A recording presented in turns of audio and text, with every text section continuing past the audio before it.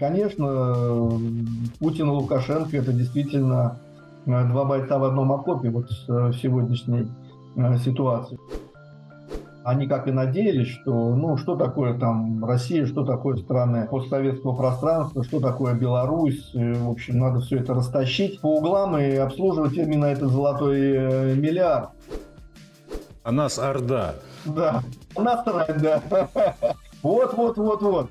Поэтому они, Запад сейчас себя загнал в очень сильную ловушку. Они, в принципе, не особо нужны, но на всякий случай, знаете, в корзинке. Ну, сейчас достанем Тихановскую там или еще кого-то. Ну, потрясем ими. Они уже не интересны, и к ним точно так же почти что так же относятся. Уверяю вас.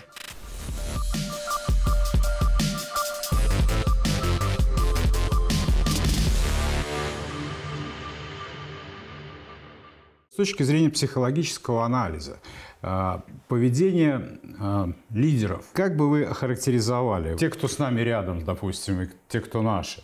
Например, Владимир Владимирович Путин. Ну, что мы видим? Да, мы, значит, видим а, человека, который вышел, является выходцем из спецслужб, человек военный, человек безэмоциональный, так как, в общем-то, работники все спецслужб – это основная категория и фрейм, который, так сказать, отводится на взятие, назовем так, на привлечение к работе, это люди, э, отличающиеся малым количеством эмоций, да, большей логичности, принятия решения э, аналитического ума, должны обладать определенного рода а, соревновательностью, так называемой, да, определенной устойчивостью к стрессам, да, но здесь как раз будет очень хорошо играть позиция отсутствие эмоций, да, вот, которые им привили в спецслужбах. А, это люди достаточно а, адаптивные к определенным рода опасностям. В то же время это люди логического и аналитического склада ума, и это люди, которые умеют принимать решения путем получения и переработки информации. В данном случае, если переходить к персоналике Путина, Э, мы видим человека, который эволюционно формировался как политик, то есть человек а, системы. Он из системы далеко не выпадал. Система – это рамки, система – это а, обязывающие а, определенного рода и законы, и формы поведения. И кроме того, я бы так сказал, одна из форм и специфики этих людей – это форма доверия, потому что в спецслужбах в основном это э, а, все основано на доверии. Вот мы вам поверили, вы должны быть. Вот если там, не дай бог, что-то, значит, вы предатель, вы все, вы э, из этого сообщества выходите. Ну, если не входить в такие глубинные ретроспекции, можно, я вернусь вот к сегодняшним процессам, что мы видим сейчас. Мы видим, что 90-е годы и те события, которые произошли, они, безусловно, являлись, а, ну, скажем так, и предательством элит, и развалом э, связи, развалом государственной системы того же Советского Союза, неплавного перехода, да, мы видели просто э, рухнувшую, э, рухнувшее государство, да, под э, исключительно, я даже сказал, не, не внешним напором, оно было, конечно, безусловно, но все-таки основной позицией это было э, действительно предательство внутренних э, процессов, вот эти э, формирования внутренних элит и, скажем так, э, весь этот процесс внутренний повлиял на этот распад. Вот в эту систему вошел и Путин со своими принципами, со своими убеждениями, со своими а, мыслями и так далее. Я видел формирование этого человека, который из достаточно жесткого человека системы превратился в масштабного политика в очень сложное время. Человек, который со, своими, со своим убеждением о том, что страна вошла не в тот процесс, я имею в виду 90-е годы, что а, страну начали, а Россию в буквальном смысле стали вытирать ноги, да, но окончательно на колени ее не поставили, хотя загнали в достаточно сложное положение, где была уничтожена экономика и, в общем-то, непонятная политика, и различные неолиберали, неолибералы формировали Э, как раз кластер а, такой капиталистический, причем в худшем а, варианте, ну, потому что частная собственность есть и в том же Китае, да, например. вот, но она достаточно социальная, и бизнес там социален, да, социально ответственен. А здесь просто э, происходил грабеж, и во всех э, худших сценариях, которые мы могли взять от тогда еще так называемого Запада, который, которого мы боготворили, который думали, что там будет все так прекрасно. Вот, мы увидели, что это совсем не так, и что те устои, те э, принципы жизни и даже принципы отношений, они совершенно другие. Но вот представить э, можно только, вы знаете, наверное, э, если брать политика Путина, конечно, кто бы как ни говорил, я никогда не, не, не являюсь ура-патриотом да, или каким-то либералом. Я человек, который основывается на фактах, на происходящих событиях. Я считаю, действительно, этот человек как-то уникально а, попал в Россию. Наверное, его, наверное, надо было найти для того, чтобы это было. Либо наоборот, да, то есть, э, если бы этот человек не попал, я думаю, России уже бы не было, мы были бы размыты как э, государство, как, может быть, даже национальное образование, слились бы с Западом, ушли в его ценности. Вот, и э, я не думаю, что вот э, мы туда вошли бы как, э, скажем так, в авангард, да, то есть мы все равно были люди второго там сорта, третьего, какого угодно, да, то есть мы где-то были бы в очереди там в образовании, получение работы и так далее, мы это все видели. То есть, одним словом, мы не попали бы в формирование так называемого западного золотого миллиарда, который сейчас вот буквально э, стал видимым, да, то есть вот все обнажилось, проявилось и так далее. Но вот а эти интенции, э, конечно, такой человек, как Путин, он подхватил это и, на мой взгляд, э, вошел в крайне серьезные процессы, э, с некоторой стороны даже кажущимися невозможными, но все-таки определенная историческая память у России, у стран, скажем так, которые входили Э, в блок э, Советского Союза, государство Советский Союз, оно осталось.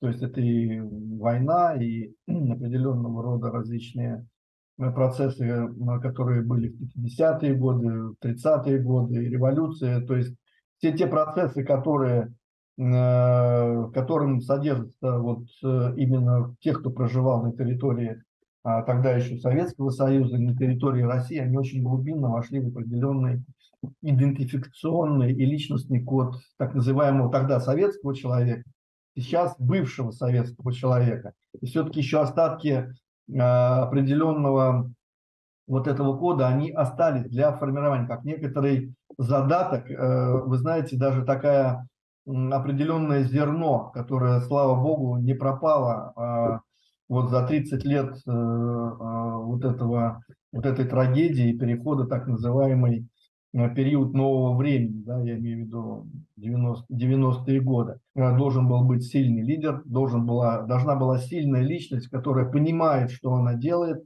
и которая должна была а, вести а, новую страну не просто каким-то задворком, да, потому что Россия, в общем-то, российский народ, так же, кстати, как и белорусский, потому что сейчас разделять это практически невозможно. Это великие э, и государства, и отношения, это все единое пространство, это действительно, я не очень люблю слово «братский», но в данном случае другого слова назвать очень Вы знаете, мне, мне очень нравится, вот э, в последнее время часто звучит э, такая формула «два государства, одно отечество». Спрошу э, вас об Александре Лукашенко. Если бы он не появился в свое время на политическом вот этом небосклоне, была бы сейчас Беларусь? Они также где-то близки, как и у Владимира Владимировича, и они, в общем, в определенной степени похожи, потому что э, э, единственный момент, какой, который отличает, вы знаете, вот э, в государствах так называемых, которые при распаде Советского Союза стали а, получили суверенитет, да, и стали развиваться самостоятельно. И всегда было тяжело. В каком смысле? Это маленькие государства, а, которые а, должны были находить вектор движения. Им надо было между вот определенного рода субъектами политики, э, политики, то есть государствами, находить компромиссы различные, то есть для того, чтобы поднимать свою страну. Это тоже достаточно уникально, это тоже должно быть э, очень схоже с, э, с той ситуацией, которая была в России И с точки зрения лидерства, вот мы видим Александр Григорьевич, да, тоже человек системы, да, тоже человек жесткости, воли и достаточно сильный человек, да, то есть и вообще на самом деле вот до событий, которые мы все помним, когда Запад настолько увлекся своей, не знаю, исключительностью и уже вмешивался даже в отношении Белоруссии в том числе, перспективы развала и России и так далее. И я вообще, насколько помню, я, там была и работа, и заработная плата, и, в общем-то, э, народ всегда жил хорошо. То есть, если без раскачивания лодки и вот этих вот, извините за выражение, непарламентских поганых идеологических э, новшеств, да, или каких-то там нравоучений со стороны Запада, которые просто сбивали э, с толку э, людей, э, вполне себе экономика и политика Беларуси вполне достаточно э, развивалась. И вообще я считал, что это достаточно очень интересное государство и очень хорошо э, развивающееся, как раз тоже с крепким, сильным лидером. Поэтому, кстати, возможно, что один из плюсов, что Россия и Беларусь в такое сложное время, в отличие от Украины и, в общем-то, других республик, которые, конечно, пытаются собрать в кучу, но мы видим, что это достаточно серьезно. Вот на примере, например, Армении сегодня мы это все видим. И вот, конечно, Путин и Лукашенко – это действительно э, два бойца в одном окопе вот в сегодняшней э, ситуации. И не возобладали э, надежде западных политтехнологов развалить это. И, в принципе, я думаю, перспективы в этом, пока мы держимся за руки, в общем-то, достаточно хорошая, поэтому будем а, действительно держать удар. Я думаю, мы обязательно, конечно, придем к тому, что мы, все-таки а, победим и а, действительно наш союз, Россия и Белоруссия, и останутся так, э, ну, знаете, как у философов, на века. Мы будем э, думать, что это все-таки останется надолго, а на века, потому что все-таки формируется поколение, когда не впускается вот эта западная грязь вся, и когда действительно сильные лидеры с хорошим предложением к своим гражданам, уже формируются другие гражданские институты, уже формируются другие люди, другая психология, другое, уже другое социумное восприятие, понимаете? То есть это уже совершенно другие люди, поэтому а, если мы это все удерживаем, а мы это обязательно удержим, я думаю, здесь очень хорошие перспективы. На протяжении особенно последнего времени мы видим, как э, ну, условный Запад или коллективный Запад, тут по-разному его называют, разговаривают с нами с позиции силы. Вот подобная тактика, как, во-первых, показала практика раз, ну и зная, опять же, наших лидеров. А, насколько она а, может, в принципе, иметь шансы на успех. И, и вот э, мне интересна ваша оценка действий, реакции э, и лидеров, и народов э, наших государств вот на такие вот действие или такое отношение к нам? Конечно, за время э, падения Советского Союза, за э, время 90-х и так далее, а вот весь этот период, э, безусловно, что мы могли потерять? Мы потеряли в определенной степени определенные рычаги экономики. Да, мы потеряли кадровый состав, мы потеряли определенную систему э, образования. Давай так, не, не то чтобы потеряли окончательно, мы ее сбили. Мы вошли совершенно в другую систему, мы а, практически планировались Западом быть сырьевым придатком, вот, то есть э, именно для того, чтобы мы просто а, обслуживали тот самый золотой миллиард, который возрек себя с точки зрения исключительности. Мы помним слова Обамы, да, то есть как бы что есть такая страна США, которая является исключительным. К ней же и примкнуло э, все остальное западное сообщество, скрепленное всеми форматами, которые сделала а, сделали Соединенные Штаты. А, абсолютно колониальное мышление, империалистическое мышление. Вот. И а, они как и надеялись, что ну что такое там Россия, что такое страны постсоветского пространства, что такое Беларусь, в общем, надо все это растащить по углам и обслуживать именно этот золотой э, миллиард. То есть э, дальше у них уже была просто система а, политического вмешательства, экономических а, определенных э, механизмов а, и так далее. Вот. Поэтому, конечно, мы на определенном этапе все-таки здесь проблемы поимели. Но Вы знаете, э, я тоже думал, вот э, когда вся эта заваруха начиналась, в этот момент, вот э, я вам скажу свое ощущение, вот начало что-то меняться, да, то есть, может быть, по частоте поданной информации, может, еще что-то. Началось, началось формирование ну, различного, скажем так, кластера финансовых механизмов, производственных определенных механизмов, вот, например, создание Ростеха, его развитие, то есть это большое количество различного рода деталей и так далее. А, и мы все-таки а, попытались и пытаемся, и делаем это, весьма успешно это делаем, а, развиваем один из наших самых сильных козырей. А наш самый сильный козырь – это все-таки военный козырь. Вот как бы то ни было, можно все что угодно говорить. Да, экономика развивалась, но в Советском Союзе она была больше милитаризована, основана на идеологии, хотя были различного и прекрасное было образование, научные институты, наука великолепно все было. Но, к сожалению, все время смотреть назад, вспоминать его хоть смысла нет. И вот э, на руинах, э, почти на руинах этих процессов мы э, решили все-таки переформатировать наше государство. И когда Запад, а я вам так скажу, на самом деле, вот у них нет русистов на Западе, хороших аналитиков по России, ну, можно сказать, и по Белоруссии в том числе.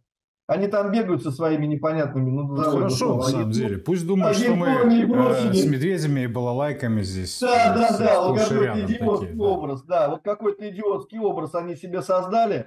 Вроде понасадили у нас вузы различного рода Э, ученых, так называемых аналитиков, в основном работающих на э, НТО и другие аналитические э, структуры, которые работали и на разведке, и на военные ведомства, и на политические ведомства, но только не, не научные. Научные были, но крайне мало. Я общался с американцами, общался с европейцами, огромное количество общался.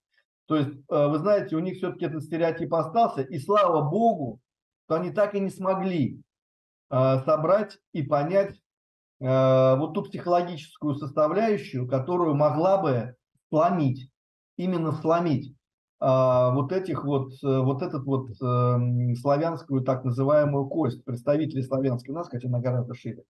Ни Россию, ни Белоруссию, да, то есть и э, в связи с этим они решили так, что, ну, ну они такие прагматики, они а, у них аналитика, она а, рациональная, а в России она больше иррациональная. Все-таки мы более широкие, такие духовные.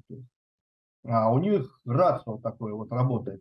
И они решили, что если у них грохнулась экономика, отвратная политика, по сведениям много коррупции и так далее, и так далее, а, мы их можем сломить. А что их сламывать там э, экономикой? Да давай по ним долбанем.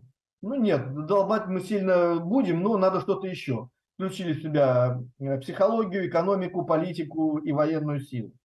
Превратился в так называемую гибридную войну. Сделали тараны, которые мы сейчас видим из э, Украины. Это отдельная очень глубинная тема. Это сделали именно таран а, из нее, потому что много сошлось именно на этой территории, именно на этом этносе, к сожалению. Вот. Поэтому то, что они сейчас применили военную силу, с одной стороны, это действительно трагично, потому что гибнут люди, а с другой стороны, все-таки, как бы то ни было, нам а, в определенной степени повезло. Они ударили в, тот, э, в то место, где у нас козыри, сильнейшие козыри, и человеческие, и психологические. И все-таки, я считаю, в последний вагон мы заскочили еще и технически. Потому что вот мы сейчас что видим на, на полях сражения? Да? Мы видим появление новой техники. Мы все время видим развитие вооружений. Да, там используются полигоны и так далее, но война, она груба, страшна и цинична, ничего не поделаешь. Не все ее используют. Но мы это видим. Откуда это взялось? Это не сегодняшняя разработка, это бывшие разработки. Это усовершенствованные разработки. Это люди, которые все-таки э, в определенной степени опять вернулись. Да, и те же ученые, оружейники и Э, ну, это большой кластер электроники, и физики, и так далее. То есть, э, в принципе, это не на...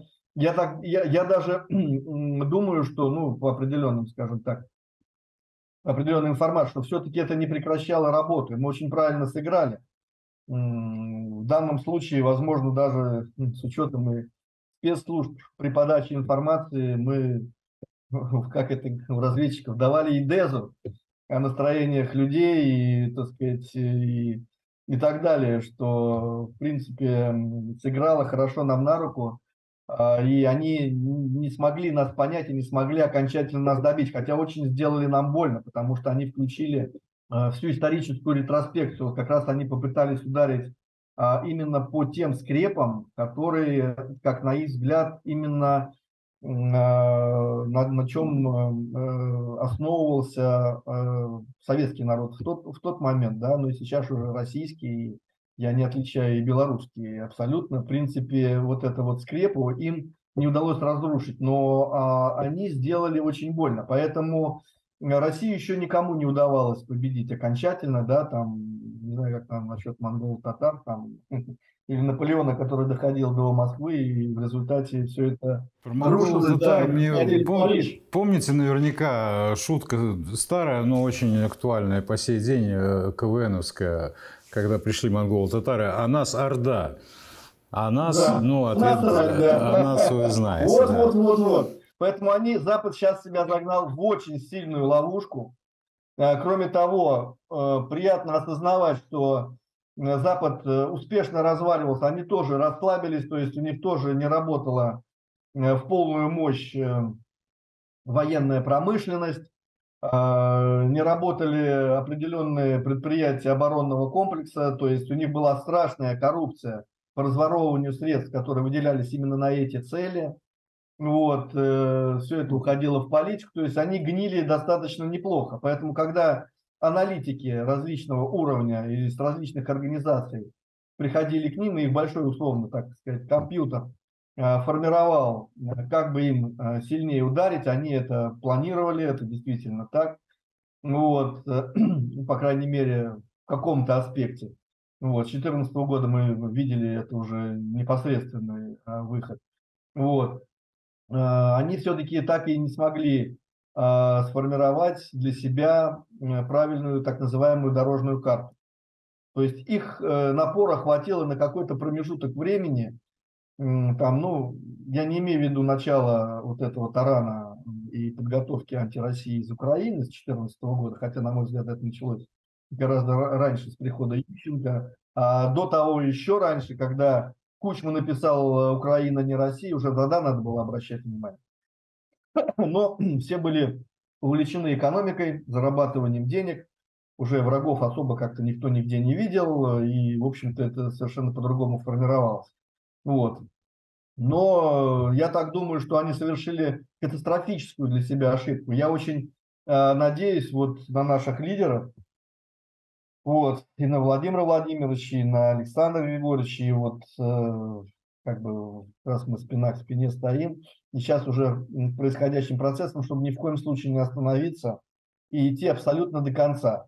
А, вы знаете, нехорошее слово «уничтожать», но вы знаете, э, я его применю исключительно к тем идеологиям и к той психологии Запада, которая э, на нас основана. Вот ее надо уничтожать. И уничтожать надо Э, опять сформированный и выпущенный из э, откуда-то из ада неофашизм, так, неонацизм. Э, вот это надо уничтожать, именно уничтожать, без зазрения совести. Хотя вот те военные цели, которые поставили, поставила Россия в проведении специальной военной операции, денацификация, демилитаризация – нейтральная позиция прилегающих территорий, если от них вообще что-нибудь останется. Вот. Э, вы знаете, у меня, как у профессионального психолога и политолога, есть некоторые сомнения вот именно в денационализации, потому что после войны процесс денационализации немцев, он был очень глубинный, он был очень масштабный, он был очень долгий. А, то есть э, одно из, он был очень жесткий, кстати, даже в определенной степени с точки зрения психологии жестокий, потому что мы переламали, когда, например, школьники ходили обслуживать концлагеря, вот эти бывшие территории концлагерей, они видели вещи убитых людей, там остатки частей тела, они были в этих местах, то есть была альфакция, это я имею в виду запахи, да, восприятие. Это визуалистика, да, это аудиалистика, то есть как бы все те процессы, которые на них пошли. И вот это было. Что будем здесь делать мы? Мы все-таки, знаете, мне не всегда нравится риторика, ну, это может быть мне, это мое личное мнение.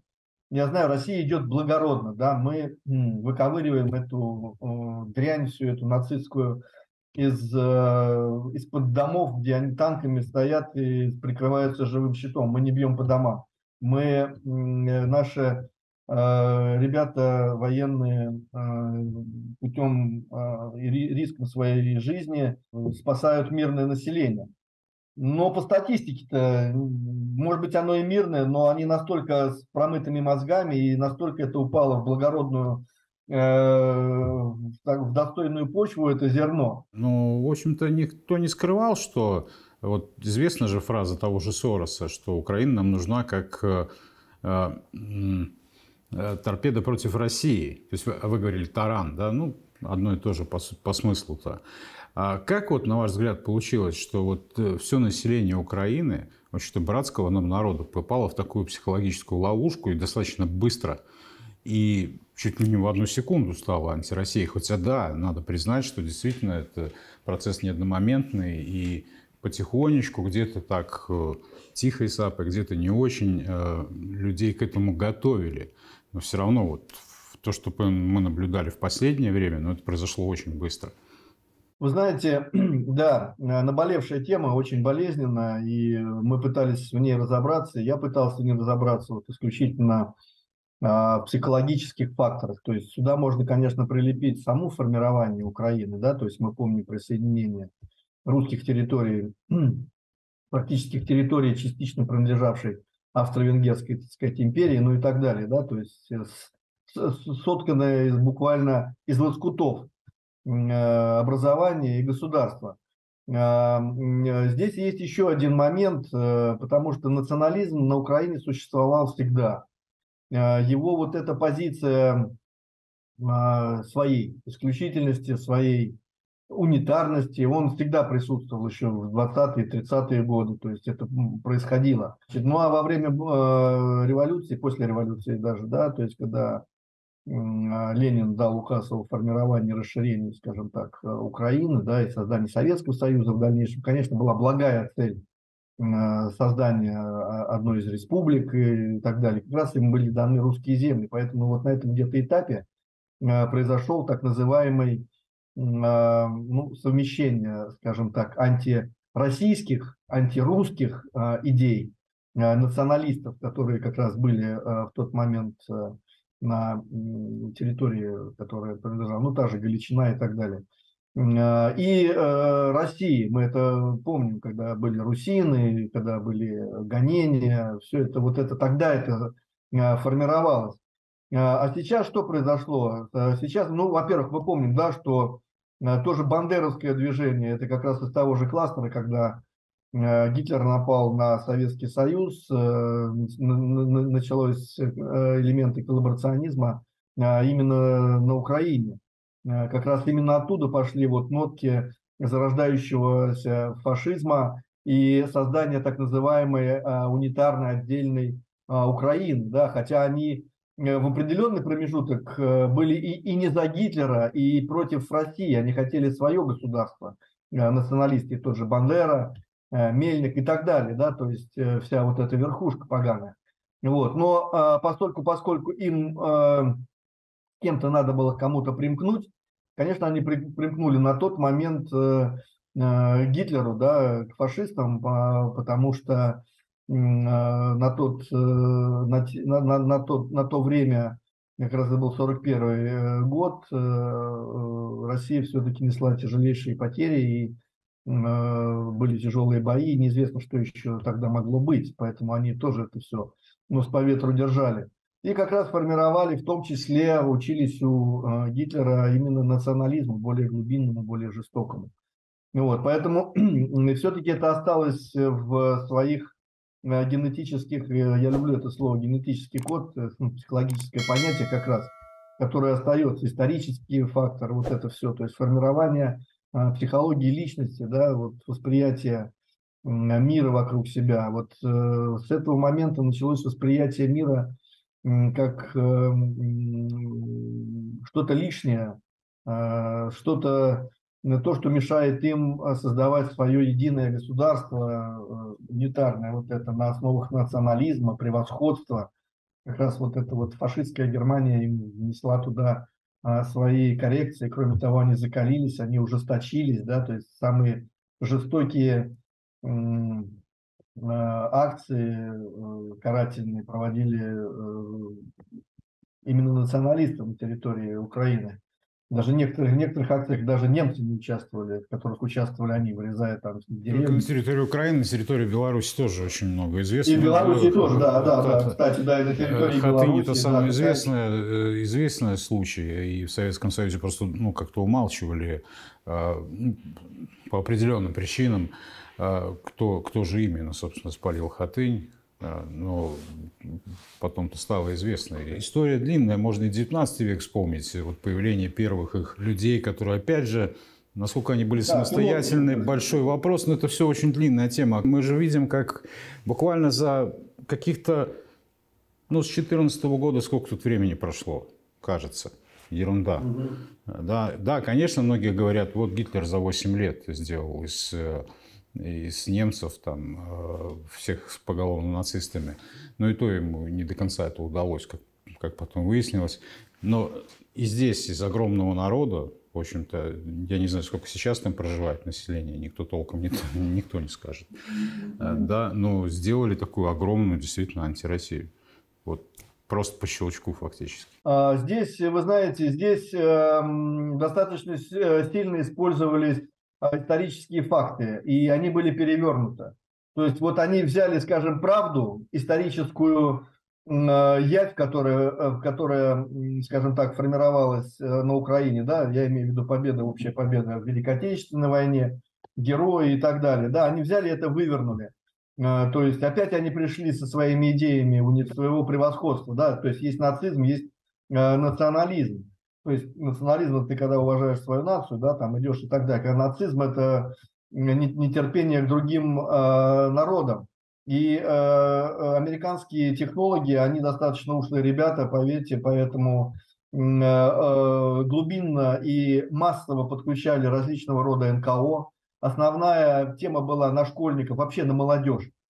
То есть вот сейчас вот эта тема э, национализма, она поколенческая. А почему она поколенческая? То есть это не тема, просто она пришла, и сейчас мы из них сделаем патриотами э, новой Украины какой-нибудь там, да, или России, или еще что-то. Нет, опять мы будем э, так называемый братский народ э, и так далее.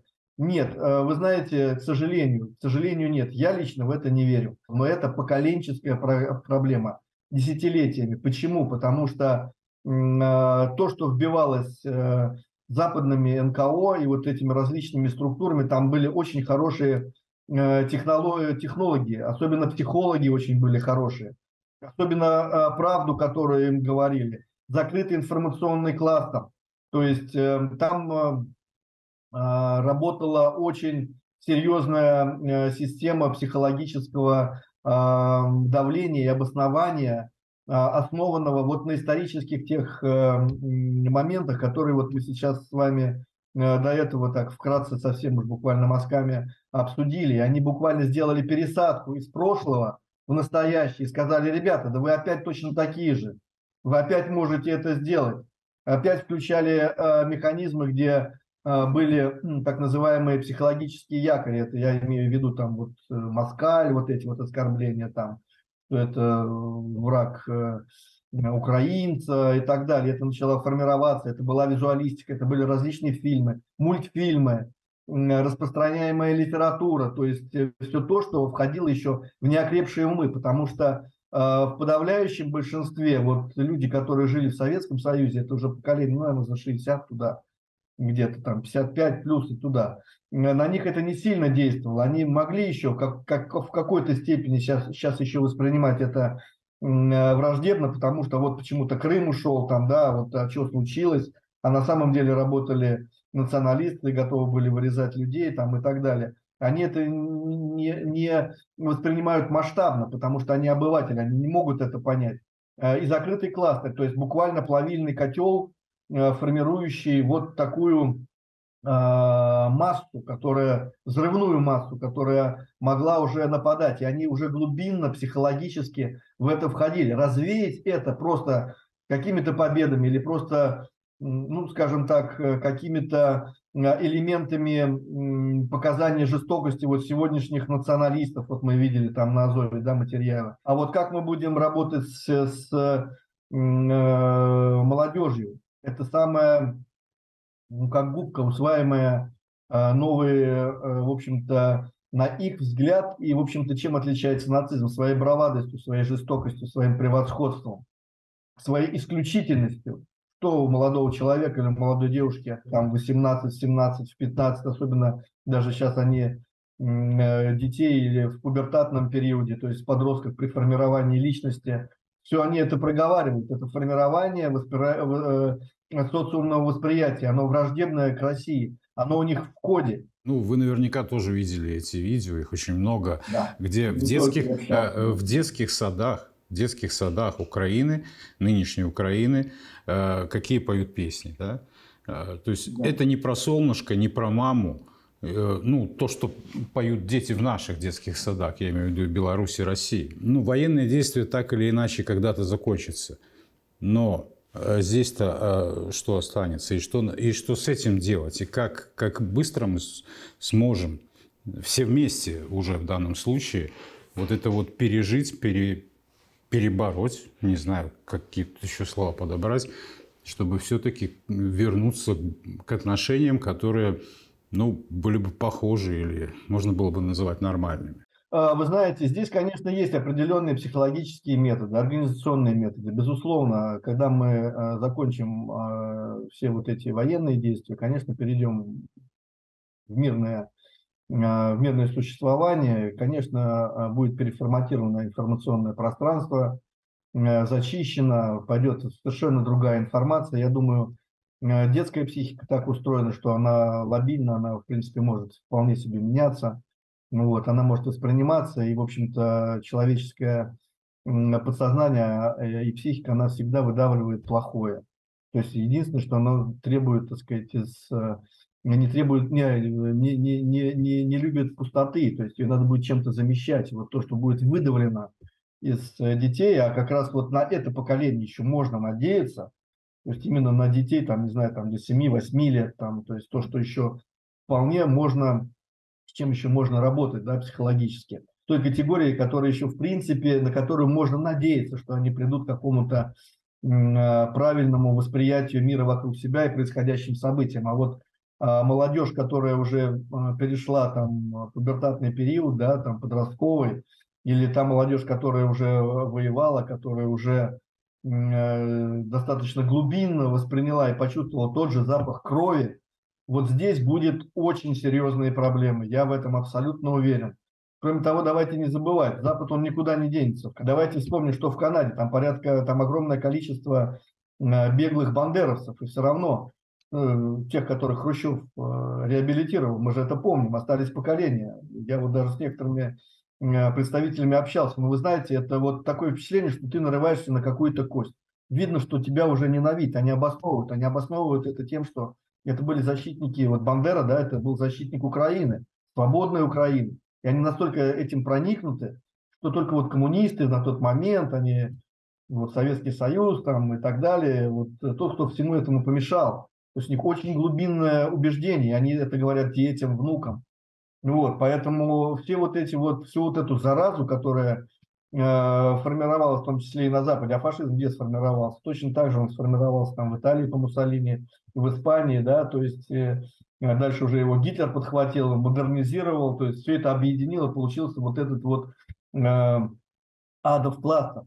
То есть у человека это невозможно отнять, это все равно будет память. Так, точно такая же память останется и э, у сегодняшних э, так называемых украинцев. Поэтому на них сделали ставку. На казахов это невозможно, на белорусов это невозможно, да, там э, на узбеков это невозможно, совершенно другие э, нации, да, вот. А почему а, вот, э, вот мы же помним события 2020 года, и в общем-то, в общем-то, ведь э, действовали по, одному, по, по одной и той же методичке, ну, как сейчас тут часто выражаются, да. а, и пытались, в общем-то, примерно то же самое сделать и в Беларуси. То есть сделать из Беларуси по итогу такую же антироссию, такую же торпеду, ну, пусть, может, меньшего размера, ну, я имею в виду количество населения меньше, допустим, да, а, поэтому... Mm. Но вместе с тем, но сейчас по факту мы видим а, оппозицию беглую, которая, в общем-то, маргинализируется и ну, даже потому, что, что у них там внутри происходит, э, мы видим, как э, они теряют, в общем-то, свою поддержку даже среди своих сторонников, я уже не говорю там где-то еще. Но в Беларуси это не прошло. А в чем главная причина? Ну, во-первых, э, Беларусь, мы тоже помним, есть исторический код у людей, это и итоги войны, да, и сильное лидерство а, именно Лукашенко, потому что, как в том фильме, вот так держал. Вот. И главное, не просто держал, а и давал развиваться. То есть э, народ был сплочен, он и сейчас сплочен. Понимаете, может быть, единственное, что вот я не очень понимаю а, и у нас, и у Беларуси. Ведь смотрите, мы все поверили Западу. Там все идеально. Мы должны им подражать и в образовании, и в экономике, и в политике, и в межличностных отношениях. Тем более, что э, не будем глубоко уходить, это тоже политпсихология, как формировались западные страны, на чем они формировались. Они формировались на той же жестокости, там, да, там, инквизициях и различного рода извращениях, и садомии, то есть потому что им нравилось всегда и удовольствие, и комфорт. Это их основная была формула. Все-таки наше общество, и Белоруссия, безусловно, это наше общество, это совместное это действительно, кого можно назвать вот нашими самыми сейчас близкими и братьями, и, так сказать, людьми, с кем мы живем почти одни, практически одним народом, какое-то союзное государство, так исторически сложилось. Все-таки это кластер э, другого формирования, другого понятия, другого восприятия э, и другого движения. Понимаете, а здесь вошло что-то инородное. Что будет? Понимаете, когда в любое тело входит что-то инородное, это место воспаляется. Но это не означает, что если она попала заноза в в палец, это будет больно, это будет гнить. Но это не означает, что если вовремя не остановиться, надо отрубить палец и одну руку. Это вот если такую типологию брать, то же самое, что произошло в Беларуси. Я наблюдал это событие. Одно время даже в Польше находился, смотрю, видел всех этих беглых, там не всех, но э, и так далее. Но они жалкие, понимаете, они жалкие. И на, их, на них смотреть неинтересно, непонятно, что хотят. Они и там не особо нужны. Понимаете, то есть и вообще в Европе я видел, вот, э, которые собирали эти деньги на борьбу с Путиным, они там собирали, что-то бегали там где-то. Какие-то э, гнусные такие вот э, проводят собрания, еще чего-то. Но вы понимаете, что э, Запад, он весьма прагматичен. Они прекрасно понимают. Поэтому, поэтому когда они смотрят на тех же Тихановских, тогда это вот э, было вот, э, э, вот эти вот все события, да, ну вот, а, а что она, кто она сейчас? Это просто Запад держит, чтобы держать реноме, что они против вот этого, против вот этой всей системы, против вот этих вот всех, как они считают, там, как они называют наших лидеров, и не только там авторитарными, там, и, э, диктаторами и, и так далее, да. А это разбивается и философски, и технологически, и даже личностно. Я что имею в виду? Что есть системы управления, а, где-то применительно так называемая система парламентская, может быть где-то еще что-то. А наши народы, они управлялись сильными лидерами, тогда они стояли э, насмерть. Как только это выходило, мы это видели, да, разваливались государства. И это не означало, что только тюрьмы, там еще что-то. Они все врут и дают это, э, э, что называется, на гора, в информационное пространство. И люди, когда видят, на Западе они дохленькие, они слабенькие, они, знаете, такие нежные все, я 15 лет с ними проработал. Они совершенно по-другому все воспринимают. Это мы такие вот, э, жилистые, что называется, исторически, они сразу раз это и схватывают. И когда им говорят, что вот там вот авторитарный режим, там вот диктаторы сидят, ой, ай, караул, да, диктаторы там сидят. А мы еще, мы еще за э, ценности, а, э, которые у нас являются основными, да, там мужчина, женщина, а вот они вообще непонятно куда пошли. Они это воспринимают как свободу действия, как свободу личности. И если мы против этого, значит, мы затираем личности. Мне, например, один из э, э европейцев, э, не буду там называть, говорит, Петя, зачем вы убиваете геев? Мы говорим, да мы, не, мы, не, мы не убиваем геев. Нет, вот он нам пишет, что показывает мне э, материалы, э, это самое, по-моему, это самое, английская, я не помню даже какая, что говорит, да, ну, вот там понапишут, это понятно, да. Да, да, да, и они этим поддерживают вот этот негатив, поэтому, потому что легче сказать, легче унизить человека, да, там, э, хорошего лидера. Кто-то почитает и здесь подумает, я, может быть, имел мнение одно, даже вот здесь у нас в стране, у вас там э, в Беларуси, ну, считаю, действительно одно пространство, мы пересекаемся. Значит, да, вот я так не сделал, ага, значит, это плохо, значит, действительно он диктатор, а он совершает уголовное э, преступление, как это было, например, с теми же Навальными и прочими, да, когда молодежь втягивали именно теми же методами. Я просто по некоторой идеологии там как раз по противостоянию работал, когда надо было людям э, и молодежи говорить, что это совершенно другое, совершенно другие ценности. Точно так же, как и у вас, когда молодежь кричала э, Лукашенко, уходи. Помните, там он приезжал? Почему уходи? Почему толпа кричит, э, уходи? Вам все так, у вас зарплата, все. Что это такое? А это, это просто вот, вот эта колючка, которая воспалилась. Ее надо срочно замазать, и надо вы, выпустить. Надо людям объяснить, что это просто определенная западная вот эта гниль, грязь, которая проходила. А потом они уехали туда, они, в принципе, не особо нужны, но на всякий случай, знаете, в корзинке. Ну, сейчас достанем Тихановскую там или еще кого-то. Ну, потрясем ими. Они уже не интересны, и к ним точно так же почти что так же относятся, уверяю вас. Разные коды, разная культура и общение, так сказать, и формирование. Поэтому, поэтому мы все и устояли, и устоим обязательно. Конечно, где-то что-то будет, потому что занавеса нет. Конечно, уже определенная работа пропаганды, так называемой, да, ну, ее практически тоже нет, да, то есть э, сейчас уже надо с обществом работать, с людьми надо разговаривать. И вот эти институты гражданского общества, которые действительно должны работать именно на социокультурный код наших стран, нашего союзного государства, они должны существовать. Мы когда-то это упустили.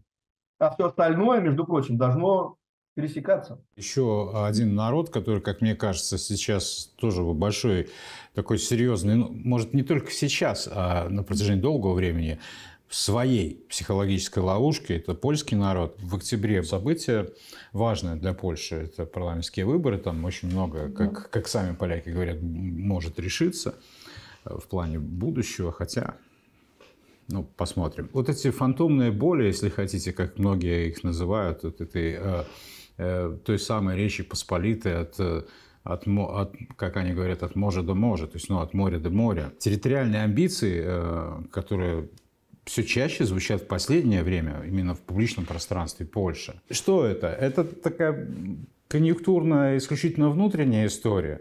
То есть где-то рассчитано на, на какие-то настроения людей внутри, внутри Польши, которые, ну, возможно, тоже думают, что Беларусь, а кто-то, что такое Беларусь? Это всего лишь исходные кресы, да, и, и западная часть Украины, это, собственно, тоже никакая не Украина, это тоже территория Польши и так далее. А, э, либо же это, это действительно серьезно, и к этому надо относиться серьезно, особенно глядя на то, как милитаризуется сегодня Польша. Вы знаете, безусловно, к этому надо относиться серьезно, но если брать небольшие ретроспекции, мы помним, что Польша уже несколько раз пыталась это э, делать, и все это приводило к разделу Польши, да, вот даже по последним событиям. А, вот, эм, событиями Второй мировой войны это все происходило. Э, кроме того, все-таки, знаете, я был в Польше, был в Варшаве, общался и корреспондентами, и с политологами. Э, конечно, там установки к России, ну и, безусловно, к Белоруссии, они дружественные. Мне всегда это было интересно, то есть насколько и почему это так поддерживается польским э, обществом. Ну, не будем уходить в длинную ретроспекцию историческую. Да, там сложные отношения в России с Польшей было, и действительно а у Беларуси действительно, как Польша считает, что это кресы польские. Поэтому а, я думаю, что если бы сейчас Запад побеждал, вся вот эта вот свора, которая сейчас накинулась, победила, ну или, скажем, побеждала, безусловно, та самая Польша, которая, как вы э, тоже знаете фразу «гиена Европы», вот, она бы зубами вцепилась бы в Белоруссию, и в Украину, и так далее. Сейчас все-таки в определенной степени они имеют некоторую форму, я не, не скажу, что это пиар, они все-таки играют свою игру, и они все-таки пытаются что-то отжать из этого конфликта. Совсем остаться в стороне невозможно. Мы видим, да, действительно, они сейчас хотят сделать военный хаб. Да, они сейчас даже предъявляют Германии претензии, да, и репарации. Вот, то есть э, повышая свой статус. А кроме того, вот вы говорите выборы, а оппозиция говорит, что они потащат их в суд уголовный, так сказать, э, и Дуду, и Моровецкого, а, и так далее. А я еще слышал, говорит, да нет, Дуда он нормальный вроде парень, но он что-то заигрался в политику. Было, было такое мнение.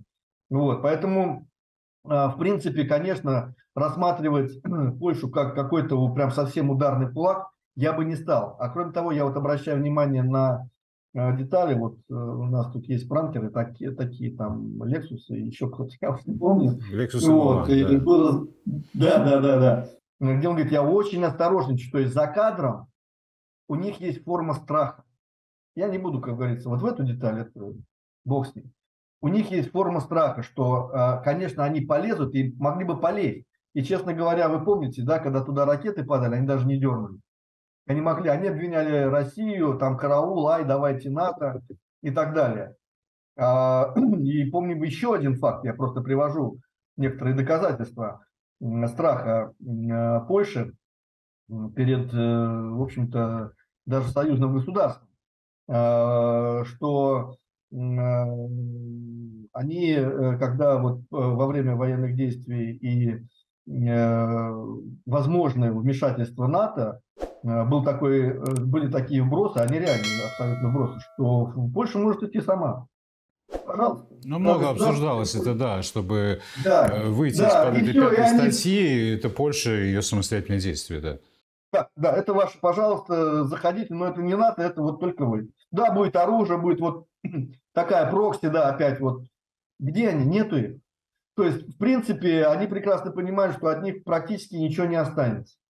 Вот, поэтому я так думаю, что в принципе, конечно, да, это опасность.